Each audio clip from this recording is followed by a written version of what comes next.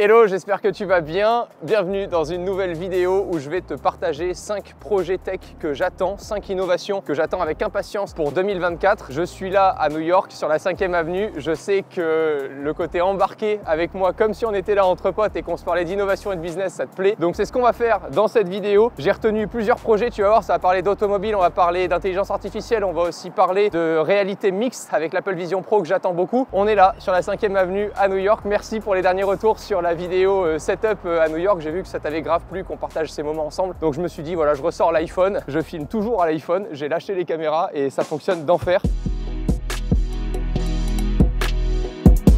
Amazon et Hyundai qui peuvent débuter une révolution dans l'automobile, surtout Amazon. En fait, on le sait, aujourd'hui, à part quelques marques comme Tesla, c'est toujours un enfer d'acheter un véhicule. Il y a plusieurs revendeurs, il y a plusieurs prix, il y a plusieurs négociations. Il y a toujours un pote qui te dit Ah ouais, mais moi, ce véhicule, je l'ai pas eu cher, attends, je vais te le présenter. En plus, tu as le marché évidemment de l'occasion qui explose. Il y a les malus aujourd'hui, on n'en parle même plus en France évidemment. Il y a toujours des différences de prix, donc des différences de revendeurs, des différentes remises. Et je pense qu'Amazon peut vraiment, pour le coup, bousculer cette industrie-là. Ils ont en fait euh, annoncé au salon de l'automobile de Los Angeles leur collaboration avec Hyundai, énorme constructeur automobile. En fait, c'était déjà disponible quand tu allais sur Amazon, tu pouvais voir les véhicules Hyundai qui étaient euh, affichés, mais tu ne pouvais absolument pas dans ton parcours utilisateur acheter le véhicule, le configurer, pouvoir financer ton véhicule, trouver le meilleur euh, distributeur autour de chez toi pour recevoir ton véhicule. C'est ce qu'ils veulent déployer en 2024. C'est le premier sujet où je me dis, wow, en fait, ça peut faire tellement mal dans cette industrie d'avoir un géant de la tech. Imagine ce qu'ils peuvent faire en automobile si du jour au lendemain, il y a des marques automobiles qui se disent, bah en fait, je vais avoir ma marketplace sur Amazon et tous les distributeurs seront listés sur Amazon et en fait, les gens auront un seul parcours d'achat. Moi, en tant que marque, je vais bénéficier de toute la technologie d'Amazon et du go-to-market que me propose Amazon sans dépenser un euro dans euh, la technologie à déployer pour mon site internet, ma base de données, etc. De l'autre côté, ça va foutre la merde parce qu'Amazon ont communiqué sur le fait qu'ils voulaient que des revendeurs premium. C'est-à-dire que le Jackie à côté de chez toi qui te fait des remises toutes les deux minutes là euh, à tout va, bah, il sera pas sur Amazon. Donc ça réglera toujours pas, à mon sens, le problème qui est que tu auras des différences de prix et c'est là le nerf de la guerre, c'est comment est-ce qu'on rend un marché uniforme et comment est-ce qu'un véhicule que tu achètes dans un état ici à New York, parce que tu n'as quand même pas qu'un seul état, donc tu as plein de lois différentes, tu as plein de taxes différentes ici aux États-Unis, puisque ça démarrera pour le moment aux États-Unis là en 2024. Je pense pas que ça arrivera tout de suite euh, en France, mais ça faisait partie euh, des innovations et des projets en tout cas regarder de près parce que ça peut bousculer le monde de l'automobile dans lequel on connaît aujourd'hui Tesla qui a un monopole énorme sur l'expérience utilisateur. À part Tesla aujourd'hui, je me gourre sûrement, il y en a quelques, il y a, General Motors qui a déployé aussi des choses ici aux États-Unis, mais dans ton parcours utilisateur, choisir deux couleurs, deux options, ajouter ta carte bancaire et recevoir ton véhicule à côté de chez toi, il n'y a, a, que Tesla qui le fait. Et je me dis, demain, tu vas avoir un choix multiple de véhicules puisqu'il n'y aura pas que Hyundai, je vois pas pourquoi il y aurait que Hyundai, je pense que ça peut être assez énorme. Le PDG de Hyundai Motor, Jay Chang, dans un communiqué disait Le partenariat avec l'une des organisations les plus centrées sur ses clients au monde ouvre des perspectives incroyables alors que nous continuons à élargir notre portefeuille, à développer notre réseau de vente, à passer à l'électrification et à réaliser l'avenir de la mobilité intelligente. Faut juste qu'on imagine aujourd'hui avec la force d'Amazon sur les technologies, puisque les parts de marché qu'ils peuvent aller chercher dans l'automobile tout en aidant les constructeurs à être plus lisibles et à avoir les technologies go-to-market prêtes à être déployées sans faire le moindre effort, bah, c'est juste exceptionnel, sachant qu'ici aux USA en 2023, Amazon détient 37,8% des parts de marché dans le e-commerce, presque la moitié. Et t'imagines que ce géant peut du jour au lendemain dire à tous ses utilisateurs, clique ici et reçois ton véhicule d'ici quelques semaines euh, à côté dans le meilleur euh, distributeur euh, de ton état. Maintenant, un produit que j'attends avec impatience, que j'ai commandé là pour 700 dollars, qui arrive aux États-Unis en 2024, AI PIN, tout simplement l'iPhone et peut-être les smartphones qui vont disparaître avec ce produit. L'intelligence artificielle évolue, on le sait, à une vitesse folle et je vous en reparle d'ailleurs juste après, puisque j'ai sélectionné quelques intelligences artificielles que j'utilise au quotidien. Vous me l'aviez beaucoup demandé, donc euh, c'est quelque chose que je veux continuer de te partager. Déjà, d'un point de vue IA, il y a des choses dingues, mais imagine une IA H24 que tu portes avec toi, ça serait vraiment un secrétaire attitré en fait. C'est ça paraît fou. En fait, c'est un tout petit boîtier tu vas tout le temps porter sur toi, qui va être connecté à Internet par une carte SIM et qui va remplacer l'usage de ton smartphone puisque tu vas échanger avec lui de façon naturelle comme si tu étais avec un être humain pour lui dire tiens, regarde, je porte dans ma main là euh, une brique de lait, elle coûte combien? Bah ok, elle coûte ce prix-là, ajoute-la euh, à mon panier et commande-la. C'est quoi déjà le code de la porte de Kevin? Pourquoi Kevin? Kevin McAllister peut-être euh, à New York, normalement j'étais raté l'avion. C'est le seul parallèle que je fais, sinon j'ai aucune idée de pourquoi je sors ce prénom-là. Il y a aussi une caméra grand angle de 13 millions de pixels, reconnaissance des objets, tu lui montres, donc comme je vous en ai parlé, la capacité de prendre des photos, des vidéos avec une vue à la première personne. Il y a un GPS, un micro, un haut-parleur, mais aussi un projecteur laser pour afficher les données directement dans ta main, puisque c'est la question qu'on peut se poser, comment est-ce que je suis sûr qu'il fasse pas trop de conneries? Et d'un point de vue sécurité, en fait, le boîtier se clipse via la batterie qui est aimantée et qu'on fixe à l'arrière du coup de notre t-shirt ou de notre veste. Donc en fait, dès qu'on va vouloir te voler le produit, parce que c'est la question qu'on se pose, c'est si j'ai toutes mes données personnelles dans un si petit produit, on a qu'à me l'arracher du t-shirt et on repart avec. Non, le produit en fait s'éteindra et euh, dès qu'il se rallume, il y aura une authentification qui sera demandée sur le produit. Et je précise aussi que le produit peut évidemment fonctionner sans smartphone, sinon ça n'a aucun intérêt, même si on le configure à 100% via l'application qu'on recevra et qui sera connectée à notre smartphone pour récupérer toutes les données déjà existantes. Putain, je me suis dit en tournant à 8h du match, j'allais avoir personne dans les rues, mais c'est vraiment une ville de dingue. hein. Les gens, ils en sont déjà à leur troisième boulot à cette heure-ci, ils ont fini leur journée pour certains, c'est un truc de fou. En fait, quand je vous en parle comme ça, je sais qu'on peut se dire, ouais, c'est encore un objet tech, etc., mais personne l'utilisera. En tout cas, ça a le mérite de vouloir transformer et changer une industrie qui existe maintenant depuis euh, 15 ans. Quand tu le vois en utilisation, tu te dis qu'il y a vraiment des choses intéressantes à faire et derrière cette société-là, il y a des geeks. Donc euh, j'ai presque un peu peur sur le côté euh, parce que déjà d'un point de vue prix, Juste pour faire un point, c'est 700 dollars le produit et 24 dollars par mois euh, pour avoir un numéro dédié avec un forfait illimité sur les appels, les messages, internet. Ça, c'est un partenariat avec T-Mobile. Évidemment, ça sera dispo là qu'aux États-Unis, encore une fois, euh, début janvier euh, 2024. J'espère le recevoir et j'espère pas que c'est une société un peu comme Tesla qui t'annonce un produit et que tu vas devoir attendre 5 ans, tu vois, pour avoir le produit. Mais je suis tellement impatient. Nous croyons en un avenir où l'intelligence artificielle amplifie le potentiel humain et Human partage cette vision. Nous sommes fiers de nous associer à eux et pour exploiter l'IA et redéfinir la façon dont nous interagissons avec les technologies et avec le monde. Quant à Sam Altman, CEO d'OpenAI, qui te dit ça, tu te dis bon, c'est quand même prometteur. On sait qu'ils travaillent ensemble depuis la genèse du projet, à surveiller pour 2024. Toujours Amazon, mais en même temps, il défonce tout en ce moment. Euh, Amazon One, la solution de paiement payé avec la paume de sa main. Ici, aux États-Unis, et j'en ai déjà parlé dans une précédente vidéo, on a la possibilité d'associer la paume de sa main à une carte bancaire qui est sur notre compte Amazon, pouvoir payer dans plein de magasins partenaires directement avec la paume de sa main. Tu sors du sport, tu que tes écouteurs par exemple et ton Apple Watch et t'as pas Apple Pay ou tu as plein d'autres. Enfin, j'en sais rien, tu as plein d'autres excuses. Trouve-les par toi-même. Eh bien, tu pourrais comme ça avoir euh, la solution pour payer avec la paume de ta main. Je trouve ça assez incroyable parce que ça révèle un truc, c'est qu'il va y avoir, je pense, une vraie révolution dans l'approche des moyens de paiement qui est déjà en route, on le sait, mais comment est-ce qu'on rend l'expérience de paiement toujours plus fluide, toujours de moins en moins chiante parce que c'est quand même le truc qui fait que ça nous casse à tous les pieds de sortir notre carte bancaire, de voir que la carte elle passe pas, de voir qu'on peut pas payer, de voir que le moyen de paiement qu'on a envie d'utiliser n'est pas accepté. Donc je pense qu'il va y avoir de, grosses questions euh, là-dessus d'un point de vue business et c'est ce qui peut, euh, à mon avis, euh, aider des multinationales à aussi avoir toujours plus de données. Qui dit un seul moyen de paiement partout dans le monde dit euh, un accès euh, aux données et où euh, sont tes utilisateurs euh, presque en temps réel. Donc euh, d'un point de vue aussi euh, marketing et ciblage, je pense que ça peut être assez énorme à voir évidemment en fonction euh, de la privacy, etc.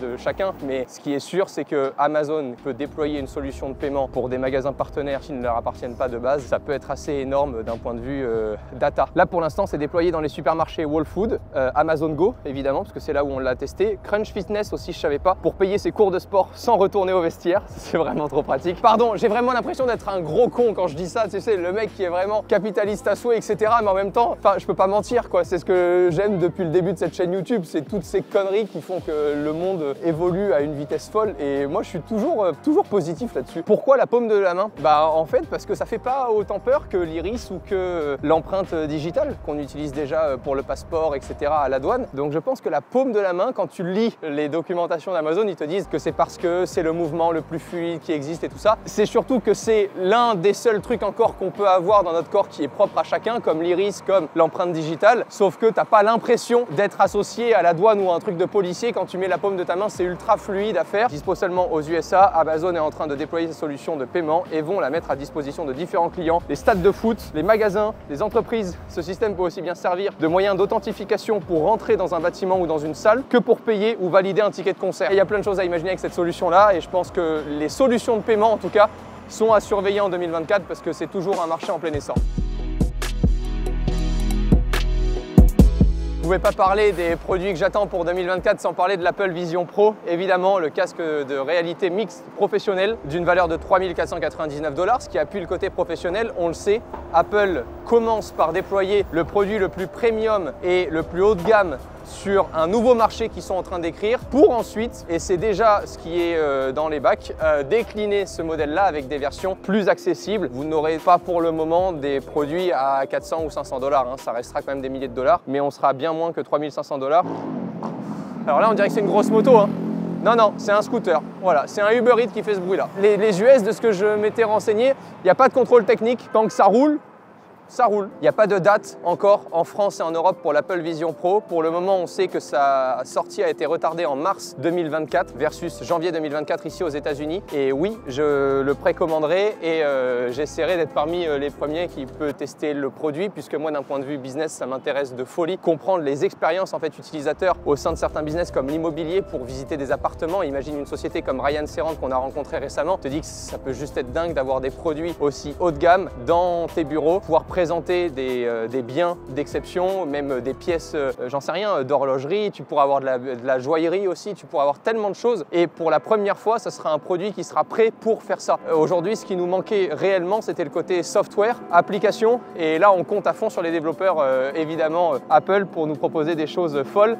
Et dans le même temps, pour que vous sachiez, il y a un nouveau brevet qui a été aperçu auprès de l'USPTO, l'institution chargée de valider les brevets pour protéger la propriété intellectuelle des entreprises ici aux États-Unis nous apprend qu'Apple continue de travailler sur des améliorations pour son casque et il y aura du coup de nouveaux modèles avec de nouvelles montures de l'Apple Vision Pro qui sont en route pour conquérir le grand public dans les années à venir. Donc qui dit grand public dit forcément euh, produit euh, plus accessible même si, et ça ne sera pas pour le moment que tu auras un Apple Vision Pro à 500 dollars, euh, parce que je ne pense pas que ce soit dans la maison Apple qu'on a envie de délaisser l'expérience utilisateur uniquement pour avoir un produit plus accessible. Je pense qu'ils voudront vraiment que ce nouveau segment, ce nouveau marché, que la réalité mix à ce point-là, aujourd'hui on a eu du jeu vidéo, mais sur un usage au quotidien, l'Apple Vision Pro remplace ton smartphone, remplace ton iPad pour avoir euh, tes cours de cuisine dans la cuisine et te permet d'être toujours connecté au monde extérieur avec tous les fameux capteurs et caméras qui peuvent même reproduire euh, ton iris, tes yeux et ton visage pour que les gens autour de toi n'aient pas l'impression que tu sois dans ta bulle. Même si ça va demander un peu d'adaptation. Hein.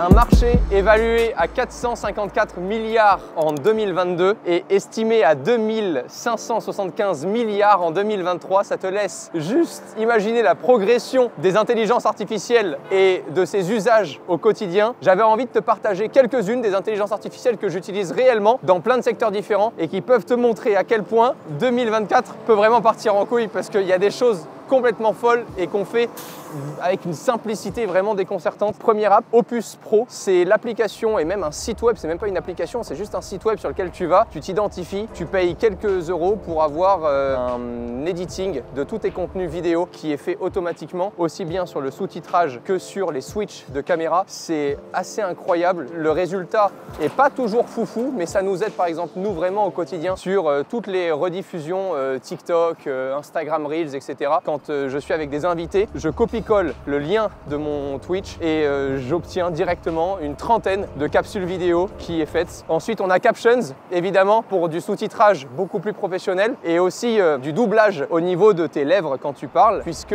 cette application te permet de parler dans différentes langues. Elle va analyser ce que tu racontes, par exemple, en français et te faire switcher directement de langue. Et je trouve ça dingue. Pareil, d'un point de vue business, tu te dis, tu veux lancer ta nouvelle société, tu es un entrepreneur, tu sais que ton produit fonctionnera beaucoup mieux au Japon qu'en France, mais pour l'instant, tu n'as pas les moyens d'aller au Japon, bah tu prends ton putain de téléphone, tu tournes ta putain de vidéo et tu la fous en japonais, mon gars.